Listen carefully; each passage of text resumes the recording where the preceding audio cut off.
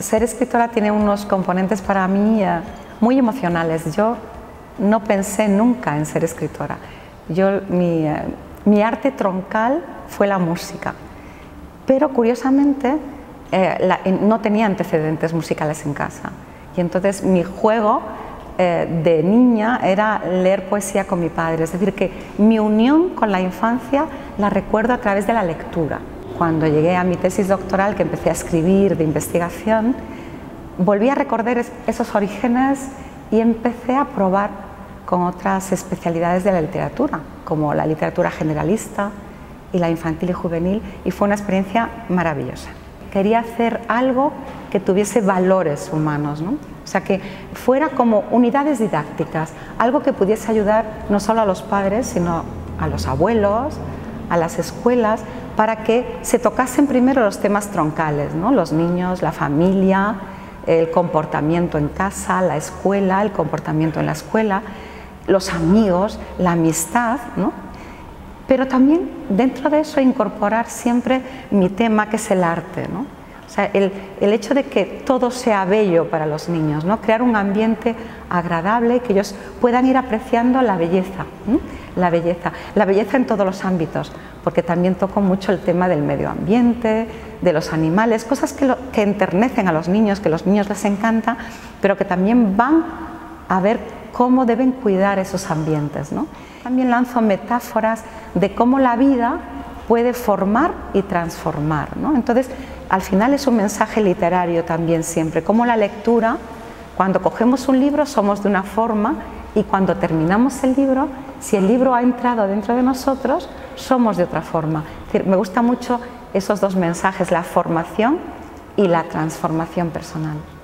Todos debemos leer más. No podemos prescindir de la lectura en tanto en cuanto nos aporta tantos valores que aprendemos a hablar mejor, aprendemos a corregir nuestra escritura, aprendemos a potenciar la inteligencia, aprendemos a comunicarnos con el otro, ¿no? a escuchar y a recibir información. Pero después hay dos factores impresionantes que son la imaginación y la creatividad.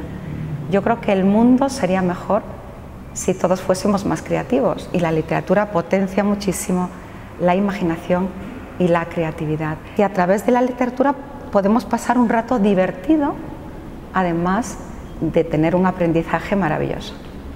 Lo ideal es que desde niños los niños vean leer a sus padres, porque a veces los niños cuando algo es obligación pues lo rechazan, ¿no? que ellos vean eh, que es un hábito precioso, que relacionen ese momento, por ejemplo, se puede indicar todos los días hacer media hora de lectura o todos los días hacer un 15 minutos de lectura. Vamos a escoger un momento que a los niños les guste mucho. Pues a lo mejor los niños relacionan un momento bonito con antes de irse a dormir. Pues vamos a estar 15 minutos leyendo. Esa lectura la pueden hacer los padres con los niños, depende de las edades, hasta que ellos sean autónomos y vuelvan a repetir esa acción. ¿no? Antes de acostarse voy a leer. Puede ser en otro momento, pero para crear el hábito es muy bueno que tengamos, así como sabemos la hora de comer, la hora de ducharnos, ¿no? pues también la hora de lectura, y que el niño sienta ese espacio como algo que le, produce confort. Y entonces lo que tienen que hacer, en mi opinión, los colegios y también los padres es buscar temáticas atractivas. Evidentemente, cuando el niño ya le gusta la lectura y se va haciendo mayor, pues ahí ya él reclamará la lectura, no hace falta. Pero cuando los niños se tienen que aproximar, hay que acertar en la temática. Entonces, temáticas que sean para ellos próximas, ¿no? que vean un personaje que se puedan identificar con él, según la idiosincrasia de cada niño. ¿no? Yo creo que la literatura fomenta mucho la empatía. Hoy que es esa palabra que tanto buscamos, ¿no? la inteligencia emocional, los niños se pueden poner en el lugar de ese, de ese personaje infantil que al final se va a incorporar en su vida y va a ser como un personaje de familia, ¿verdad? El conseguir que ellos tengan una biblioteca en su cuarto, una biblioteca, algo entrañable, que ellos puedan coger un libro, que puedan abrirlo, que puedan olerlo. El libro físico nos permite que todos los sentidos trabajen. ¿no? El, el, sonido, porque abrimos y ese ruido, ese sonido de las hojas que es tan entrañable, el olor del papel. Es muy bueno que los niños anoten en los libros cualquier cosa que les sorprenda, para que después, por ejemplo, una, palabra de vocabulario que no entiendan y que después le preguntan a los mayores. ¿no? E, e, entonces, ese hecho de hacer suyo un libro físico es eh, la motivación para en un futuro volver a leerlo. Yo recuerdo que mi mayor experiencia es releer los libros. Cuando un libro te impresiona, en una primera lectura no es suficiente y al cabo de tiempo quieres volver a releerlo. Pues qué entrañable es ver que lo has leído porque ya está anotado por ti, ¿no? Y que te has transformado y que ahora desde otro ámbito y desde otra edad lo lees otra vez y vas a descubrir otros mundos maravillosos. Efectivamente está fenomenal, los libros electrónicos, pero nunca olvidarse del libro físico. Los niños ya potencian tanto las pantallas, ¿no?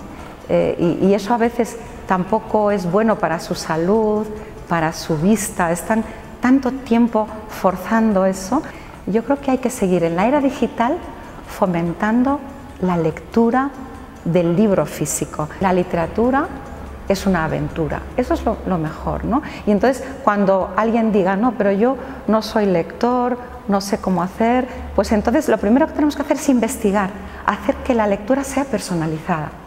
No le, no le impondría un libro, le, le haría ver que hay libros para todos los públicos, para todas las edades, para todos los gustos, para todas las formaciones. No hace falta ser una persona culta para leer.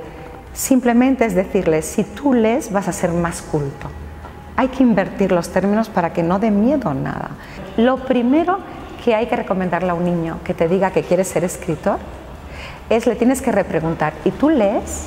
¿Eres buen lector? Solo a través de la lectura podrá escribir, porque no solo va a aprender cómo se construye. Es decir, primero no hay que hacerle ver eh, cómo es un libro, cómo es la estructura, porque entonces estamos teorizando.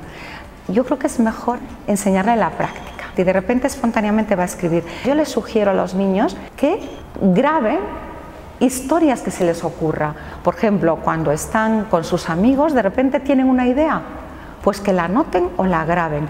Simplemente una idea. Que van con sus papás de viaje, pues que anoten una anécdota.